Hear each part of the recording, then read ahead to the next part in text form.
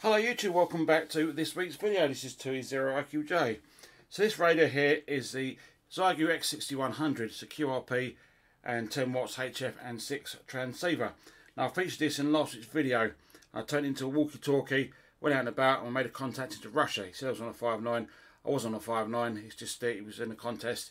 If you tell him he's on a 5.3, then uh, he's got to go down the other end of the keyboard, the operator has. Anyhow, I take this away every single day and I've made copies into Serbia, I've had Slovenia, I've had into Russia, Moscow, and so I'm just using the 5 watts and using it as a walkie-talkie. It's been great fun when I'm on my dinner break. Now, I've updated the firmware on this to version 1.17. I'll show you that if we go to System Settings, use the MFK key, the multifunction key, and we go to SysInfo. You can see there, it says App 1.17, July 26th, 2023 and base is 1.16.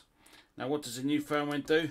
We've added something on here called WF server which allows us which allows us to control the radio remotely. You can either do it by the internet or you can control this via your computer. So you can have it set in a, another room or your computer can be downstairs.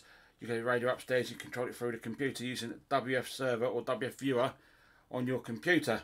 So first of all you need to connect your radio via the cable or via wireless LAN. And we're going to connect this up via the LAN. So we're going to go to wireless LAN and we'll turn it on. We're going to let it connect to the router. There we go, it's connected up to my router. Now if you haven't seen how to do this, set up the wireless LAN. It can be a bit of a pain in the backside. Once you've got it connected, you have to disconnect and you have to put your manual IP addresses in and so on. Now I've done a video on that on how to upgrade or wideband this radio using FTP and I'll show you how to set the Wi-Fi up on that. I've also done a video on how to update the firmware so if you get a black screen of death how to update that. Uh, I'll link them in the description below, you can go and watch them. It tells you how to update the firmware for this radio or reflash it. It also tells you how to do the Wi-Fi. Now we need to press on exit.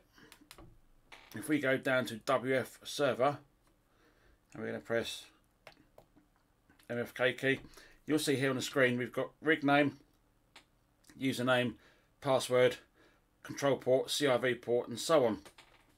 All we need to do now is press on start. It's going to say please wait. Okay, now that it has started, it tells you you can go to wfview.org, find the source code and so on, it tells you who, who made it there, Elliot, W6EL, Phil, M0, VFE, and so on. Now all you need to do now is put this information into the wfview program on a computer and we, we, should, we should be good to go to control this radio via the computer. So let's head over on the computer and uh, we'll look at the software. Okay, so we're on the computer and the website you want to go to is wfview.org which allows you to control. It says welcome to wfview.org.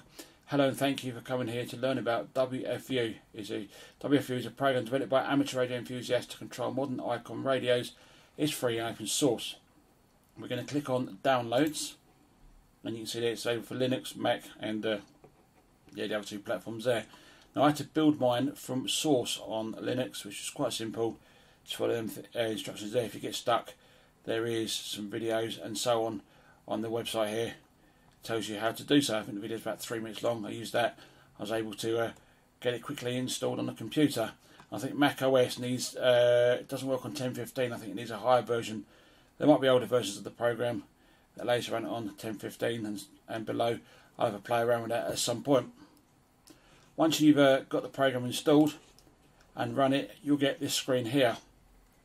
If I click on settings, I'm going to do radio access, and you've got serial USB or network. We're going to do via the network, and you've got host name, control port, username, and so on, password and that was all the information that came up on the screen earlier. So 192.168.1.21 control port is 5001 username is user and password is 123 leave everything else as standard. And we're just going to click on connect to radio.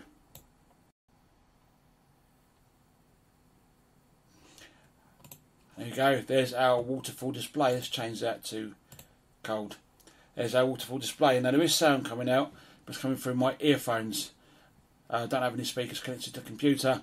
And I've got the radio in the front room next door to the Wi-Fi router. If you find it goes laggy, try and move it closer to the Wi-Fi. If you can't move closer to the Wi-Fi, you can use a, a USB serial cable. So I'm going to play around with some point, and you can also use a USB Ethernet adapter, which I want to play around with at some point as well. I think only about 12 quid off Amazon. It'd be worth getting one of them just to muck about with, see if you can get it connected. Now here we've got our frequency, and you can use the jog wheel here to go up and down. You can also use the scroll wheel on the mouse to go up and down. Here you've got your frequency steps, so 1 kHz, 2.5, 5 and so on.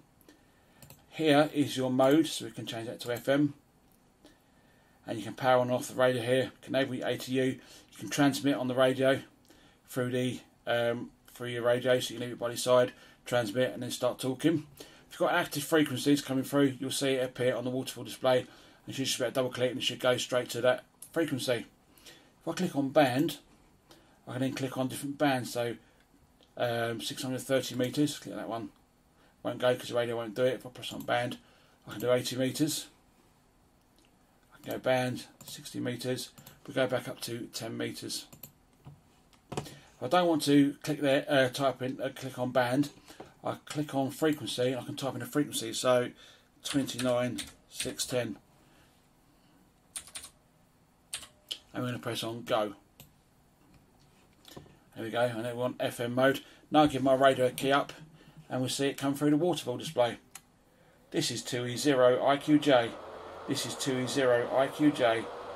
Testing 1, 2, 3, 4. 1, 2, 3, 4. There we go.